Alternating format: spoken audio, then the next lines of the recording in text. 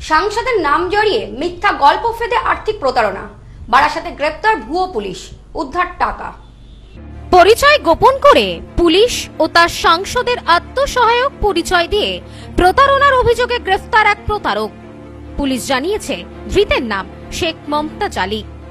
জানা গিয়েছে, বারাসতের টালিখোলার বাসিন্দা তপন মজুমদার ও তার ভাই পাসপোর্ট সংক্রান্ত নথি জোগাড়ের খোঁজ করতে গিয়ে শেখ মমতাজ আলীর খপ্পরে পড়েন। মমতাজ নিজেকে অনুপম চক্রবর্তী বলে পরিচয় দেন। স্ত্রী জয়শ্রী চক্রবর্তী, বারাসাতের সাংসদ কাকুলি ঘোষ দস্তিদারের নিরাপত্তার দায়িত্বে আছেন বলেও জানান তিনি। পুলিশের বড় বড় কর্তার সঙ্গে সক্ষতা আছে শুনে বিশ্বাস করেন মজুমদার পরিবারের দুই ভাই। মমতাজ তাদের বলেন, পাসপোর্ট এবং জমি সংক্রান্ত সমস্যার সমাধান করে দেবেন। এর জন্য টাকা দিতে হবে। তপন মজুমদার ও তার ভাইয়ের থেকে নানাভাবে কয়েক দফায় কিস্তিতে উনআশি হাজার টাকা নেয়। প্রতারণার শিকার হয়েছে বুঝতে পেরে তারা বারাসাত থানায় অভিযোগ দায়ের করে।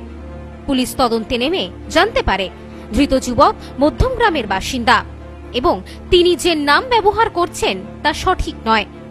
পুলিশ সূত্রে জানা যায়, মধ্যম গ্রামের বাড়ি থেকে তাকে গ্রেফতার করা হয়। তল্লাশির পর ঘর থেকে পঞ্চাশ হাজার টাকা উদ্ধার করে বারাসাত থানার পুলিশ। পুলিশি তদন্তে আরও জানা যায়, তার স্ত্রী বারাসাত লোকসভা কেন্দ্রের সাংসদের আত্মসহায়ক নন। তবে তিনি একজন পুলিশ কর্মী।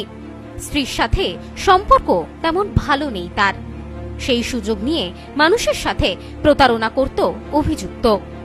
ছয় তারিখে ভদ্রলোক আসেন আমাদের চায়ের দোকানে। এসে বলে যে আমি পুলিশের লোক। ওনার হেলমেটে লেখা আছে ডাব্লিউবিপি ওটা দেখে ওনার সঙ্গে চা সিগারেটের একটা বিনিময় হয়। হওয়ার পরে বললাম, স্যার, আপনি আমাদের একটা পাসপোর্ট আটকে আছে। পাসপোর্টটা যদি ছাড়িয়ে দিতেন, একটু উপকৃত হতো উনি তখন বলল যে, পাসপোর্ট ছাড়াতে গেলে কিছু টাকা পয়সার দরকার আছে। উনি পরের দিন এসে বলছে যে, আপনার জমির পর্চা না করলে এই পাসপোর্টের কাজ আটকে যাবে। আমি বললাম, স্যার, পাসপোর্ট করতে এই পর্চা করতে কত টাকা খরচ হবে? বলল যে, উনি হিসাব টিসাব করে বলল যে, পঁয়ত্রিশ হাজার টাকা খরচ হবে। পঁয়ত্রিশ হাজার টাকা আমি দেওয়ার পরে উনি বলছে, আপনার এটিএম আছে? আমি বলেছি যে, না স্যার, আমার এটিএম নেই। বলছে, আমার সঙ্গে তাহলে ব্যাংকে চলুন, এটিএম নেই। আমার পাশে যে ইন্ডিয়ান ব্যাংক ওইখান থেকে উনিই দরখাস্ত দিয়ে এটিএম ব্যাংকটা তোলায়। তোলার পরে উনি ওই এটিএম থেকে আমার পঁচিশ হাজার টাকা তুলে নিয়ে যায়। আমি যখন বইটাকে চার্জ করি, দেখি যে আমার পঁচিশ হাজার টাকা নিয়ে গেছে। তারপর আমি দুই তিন দিন ফোন করি উনি ফোন রিসিভ করে না। তারপর আমি বারাসাত থানায় এসে আমি অভিযোগ করি বড়বাবুর কাছে। স্যার আমার সব কথা শুনে যেটা প্রশাসনিক কায়দায় যেটা কি হয়েছে না হয়েছে আমি আর তো বলতে পারব না। আমার পঞ্চাশ হাজার টাকা রিকভারি হয়। আমি আমি উনআশি হাজার টাকা দিয়েছিলাম। পঞ্চাশ হাজার টাকা। এখন পাবে হচ্ছে আপনার উনত্রিশ হাজার টাকা। আমার নাম রতন মজুমদার। বুধবার আদালতের নির্দেশে পঞ্চাশ হাজার টাকা বারাসাত থানার পুলিশ অভিযোগকারীদের হাতে তুলে দেয়। তাদের আশ্বস্ত করেন, বাকি টাকাও উদ্ধার করা হলে পুনরায় তাদের হাতে তুলে দেওয়া হবে। পুলিশের ভূমিকায় খুশি প্রতারিত ব্যক্তি। Bureau report, news, Snowman's land, Barasat. পশ্চিমবঙ্গে সর্বপ্রথম বিল্ডিং মেটেরিয়ালের শপিং মল, এখন বনগাঁতে।